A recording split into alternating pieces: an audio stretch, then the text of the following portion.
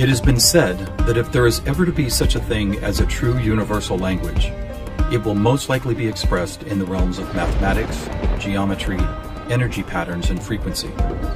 Could it be that this language, or at least the foundation of it, already exists here on Earth? Is it possible that over the course of thousands of years, we have been somehow guided in the process of creating this new form of communication?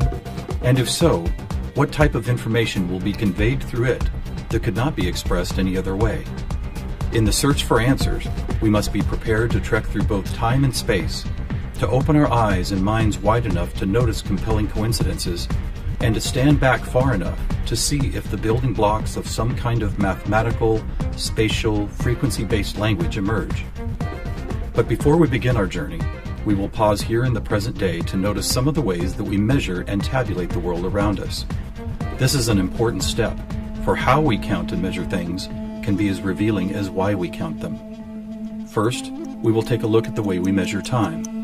For all practical purposes, the smallest unit is one second, and we all know it takes 60 seconds to make a minute, and then 60 of these minutes to make an hour. This hour, of course, is the unit by which we divide our days, and these days become months, years, decades, centuries, and so on. Speaking of 60, let's take a moment to notice that all geometry, whether it is two or three dimensional, is also derived from base 60 mathematics that provide the foundation for a 360 degree circle, which in turn provides us with all the angles and formulas for creating virtually every shape known to humankind. Now let's look at how many cultures from all over the world have chosen to count and group things. Right away, we see that we have been attracted to the number 12. 12 eggs in a dozen, 12 months in a year, 12 inches in a foot, 12 signs of the zodiac. Strangely, whether it's tallying disciples or mythical gods, the number 12 appears often in the telling of our greatest stories about ourselves. And what about distance? Your local town might be measured in meters or other units, but when we talk about measuring our planet, the standards we all use revert back to base 60 units of miles, minutes, or geometrical degrees. Are you noticing the pattern here? We seem to be encountering a lot of 12s and 60s. Are they related? And if so, how? To answer that piece of the puzzle, we must travel roughly 5,000 years back in time to visit the ancient Sumerian culture of Mesopotamia, for here is where our 1260 based math comes from. This counting system, which was invented by the same people who produced the world's first written language, involved counting the knuckles of the four long fingers on one hand and then multiplying them by all five digits on the other hand. If you do this, you will get a maximum number of 12 knuckles times five fingers, which of course totals 60. How these cosmic jumps in language and mathematics occurred so suddenly is open to debate. But it is interesting to note that the ancient Sumerians themselves wrote about being given this information by sky god visitors they called the Anunnaki. Who and what the Anunnaki were is a hotly contested subject, but one thing that cannot be denied is the fact that over 5,000 years ago, a mathematical system was born that incredibly still serves us today. So now that we have our various units of measurement, all based on the Sumerian 1260 counting system, Let's jump forward to a few pivotal moments in history and see what other numbers, patterns, and synchronicities appear. In the 6th century BC, on the Greek island of Samos, the famed mathematician Pythagoras led a school of thought that married philosophy, mathematics, music, and of course geometry. And while Pythagoras did not discover advanced geometry, he did apply it in new ways, especially to music. For instance, he noticed that when a tauten string was plucked, it would create a tone. And when that string was divided in half, it would make the same tone only twice as high in pitch. Pythagoras then came up with numerical ratios based on harmonic fifths, and this led to the creation of the musical scale found at the root of most modern music. It is important to note that according to Pythagoras, all musical notes were found by using mathematics, and as such were given number values according to their placement in a kind of master grid. For instance, by using fifths beginning from note number 1, he was eventually guided to note 27. And to find the same note twice as high in pitch, he simply kept doubling it to 54, 108, 216, 432, and so on up the scale. If you've ever heard of Pythagorean tuning, you know that the number 432 is quite important. To Pythagoras himself, it probably wouldn't have stood out more than any other in his numerical grid. But in our quest to find a universal language based on mathematics and frequency, this particular note represents a significant piece of coincidental evidence. You see, many ancient musical instruments, from Tibetan bowls to Native American flutes, happen to produce the same tone, a tone that vibrates at 432 cycles per second. That's compelling, but even more intriguing is the fact that Pythagoras was not calculating vibration cycles to find tone 432. It just happens to be the same number. What's more, for decades, most modern musical instruments were also tuned to this same fourth octave A, with a value of 432 cycles. How could this be? Who chose this particular note as the keystone for instrument tuning? And more importantly, why? Here is where a deeper mystery begins to emerge, and to explore it, we will need to go back to Pythagoras' other passion, geometry. It is not an exaggeration to say that to Pythagoras and his disciples, geometry and math held a key to the nature of all life everywhere, and maybe it does. Let's look at the first four geometric shapes the circle, triangle, square, and pentagon. In each of them are angles of degrees that, when added together, always total a specific number relative to that particular shape. For instance, if we take a triangle, the sum total of all three interior angles is always 180. For both the square and circle, it is 360. For a pentagon, it is 540. Now at this moment, let's step back and look at these numbers in a different way as there seems to be something about them that reaches beyond a simple sum of angles. Did you notice that they happen to be in the same numerical neighborhood as tone 432? What's more, they all add up to 9, just like 432. As an experiment, let's take a look at the numbers found in basic geometric shapes, then apply those numbers as vibration cycles to hear the tones they produce. First, let's listen to what the 180 total degrees contained in a triangle sound like.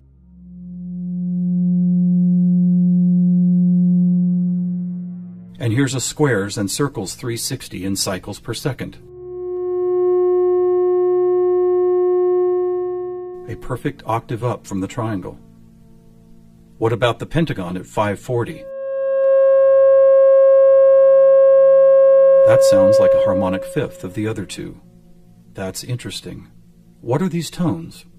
They are F sharp and its perfect harmonic fifth of C sharp. Let's keep going. What does a hexagon 720 sound like? Another F sharp. Here's a seven-sided septagon, which totals 900. This is an A sharp, which happens to be the note required to complete an F sharp major chord in perfect three-part harmony.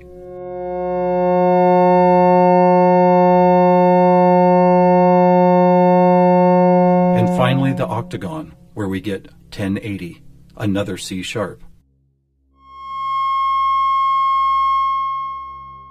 Suddenly, geometry is expressed by tones, and these tones just happen to create the most beautiful form of music, a perfect three-part major chord in the key of F sharp.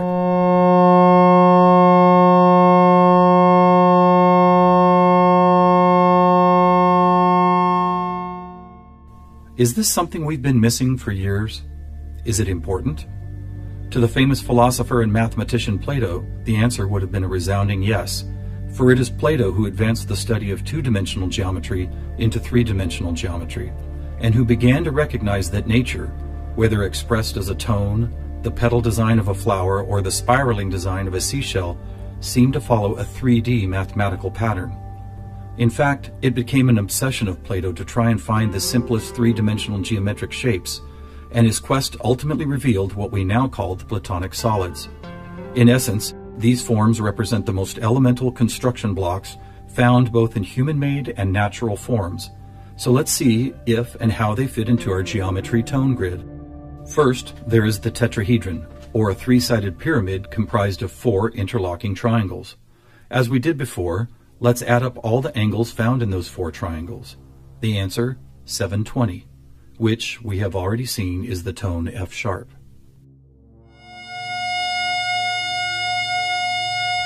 Next we have the cube, whose six 360 degree squares totals 2160. What does it sound like?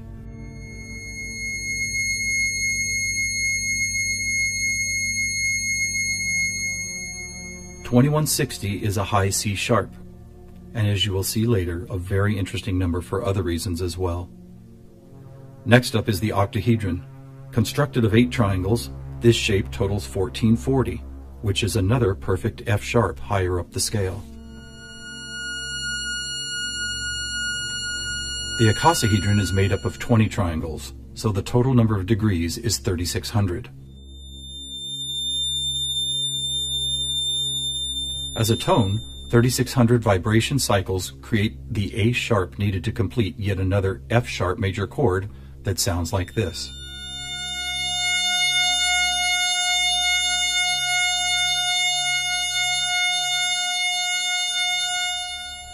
At this point, we have seen how two and three dimensional geometry can be expressed by the notes found in an F sharp major chord. Could this also be true with what is known as sacred geometry? To find out, we will first need to build a design called the germ of life, which, when repeated, goes on to reveal the seed of life, then flower of life pattern found at sacred sites all over the world.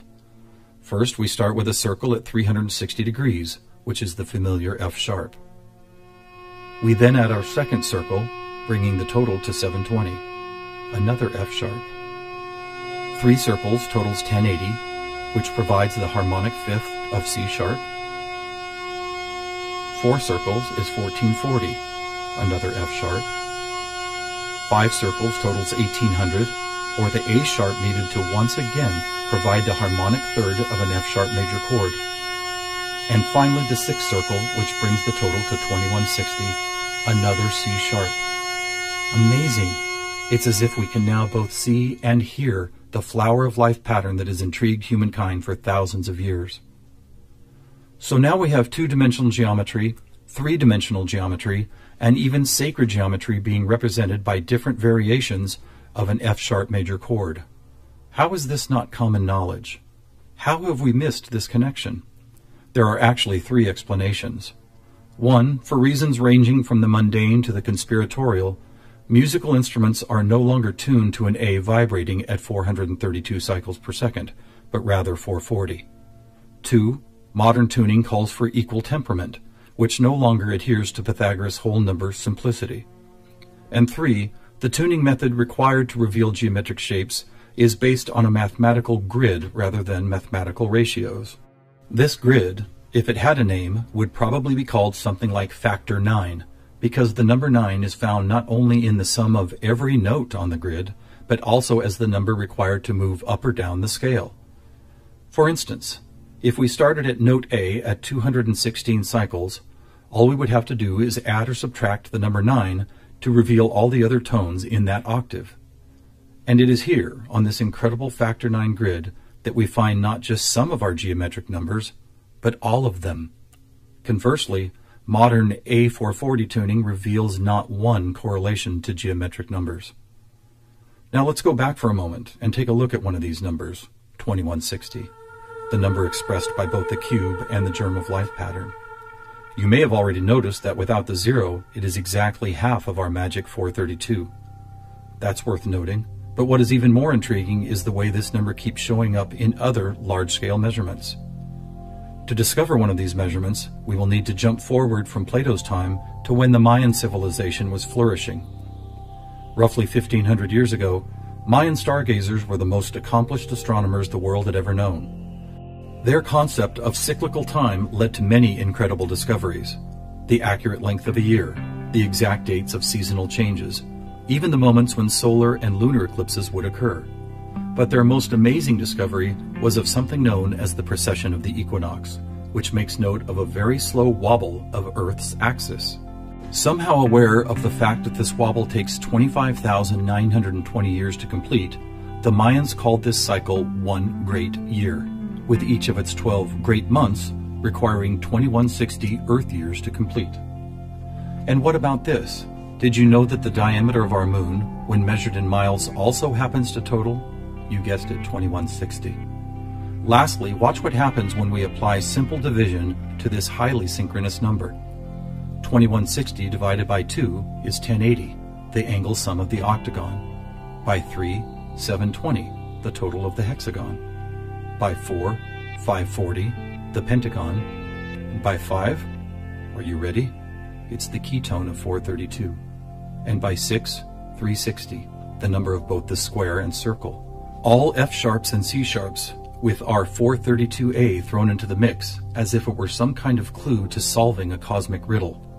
Maybe we should look at this number even more closely. As we've stated, our closest celestial neighbor, the Moon, is 2160 miles across, and 216 is exactly half of 432.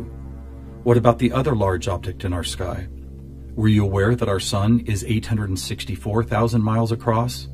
Incredibly, where the Moon's base number sequence is half of 432, the Sun's number sequence is exactly twice 432. And do you know how many seconds there are in a day? 86,400, or 43,200 for the 12 hours of day and 43,200 for the 12 hours of night. Or try this. Take the 360 degrees found in the circular shape of our sun and moon, and then multiply it by the 12 hours of either day or night. The answer 4320. Or how about this? What is the only whole number that, when squared, comes to within 0.01% accuracy to measuring the speed of light. 432. What is going on here? We have all these different things Earth cycles, time and celestial measurements, geometry, sonic frequency, yet they are all represented by the same numbers over and over again. To answer that, we must search for the factor common to all of them, and that common factor is the 5,000 year old Sumerian 1260 counting system. It is what gave us the inches to a foot, the seconds to a minute, and the 360 degrees in geometry. It's almost as if the sky god visitors, who the Sumerians called the Anunnaki, provided humanity with a counting system that would lead to the discovery of these synchronicities. Could it be that the number 432 really is some kind of cosmic key that unlocks a language of higher understanding? And if so, have these sky visitors ever been back to make sure we don't miss the importance of the 432 matrix? One possible answer can be found in the story of a man named George Van Tassel, a respected aeronautical engineer who believed he was contacted by extraterrestrial beings in the early 1950s. During this encounter, Van Tassel said he was provided with a mathematical formula that could be used for everything from time travel to sound frequency healing, and which he used to build the world famous Integratron near Joshua Tree, California. What is this formula? It is F equals 1 over T, or frequency equals one particular something divided by the number of time. Well, what if that one something was the biggest one on our planet, the one great year of 25,920 discovered by the Mayans? And what if the number for time was the most logical choice of 60? Suddenly, this mysterious equation is expressed as frequency equals 25,920 divided by 60. Are you ready for the answer? It's 432 not only the frequency that instruments all of the world have been tuned to for thousands of years, but also the number that reveals the synchronistic nature of life on this planet. Noticing all these coincidences revealed by the 432 matrix and the Sumerian counting system, we must wonder if other ancient cultures were aware of them as well. Just scratching the surface, it would seem that they were. For example, let's take the Sumerian 12 and square it for a total of 144. Right off, we see that it is indeed a number and tone contained within our factor 9 grid. Expanding outward, we find 1440, then 144,000, which is a number that appears all over the world in the most compelling of ways. Take, for instance, the Great Pyramid of Giza. It happens to have been covered with 144,000 smooth white casing stones. To ancient Mayans, 144,000 days was the length of their 394 year Baktun, a time cycle which has just begun again. In the Bible, we read that there will be 144,000 chosen ones redeemed from the earth prior to the apocalypse. Obviously, number sequences like these have been significant to many different cultures and religious sects, and to one enigmatic group in particular, the Freemasons. Were the earliest Masons, the supposed keepers of sacred information, also aware of the Factor 9 grid, the 432 key, and the number 144,000, their infatuation with the numbers 3 and 13 might be telling. For instance, if you divide 144,000 by 432, the answer is 333.3 into infinity. Or take a look at the back of a dollar bill. That famous unfinished pyramid could be revealing some interesting clues. For instance, there are 13 steps climbing the pyramid, and 13 times 33.3 is 432.9. Even the shape of the flat topped pyramid appears to be made as if someone had drawn four dots in a line, then three above it, then two above that, and then connected those dots to reveal this iconic shape. And of course, let's not forget that the square root of our all important factor 9 grid is three threes. Who else knew about 432? The answer is surprising. In India, large cycles of time are called Kali Yugas, and each one is 432,000 years long. In fact, the number 432 appears so often in sacred structures and myths, from Stonehenge to the pyramids, that author Joseph Campbell could not help but see it as the most important mythological number in history. So, what do we have here? What is it that's trying to be expressed by all of these coincidences?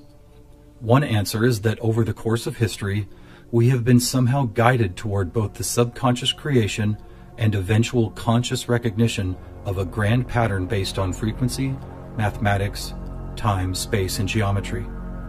Quite possibly, these synchronistic numbers, shapes, and tones represent the building blocks of a language that we do not yet fully understand, but could turn out to be the most important language we will ever learn. How will we use it? Who will we be conversing with? Time will tell. Thousands of years ago, from locations all over the globe, various prophets, shamans, and seers described an era when humanity would make some kind of cosmic leap into a next level of consciousness.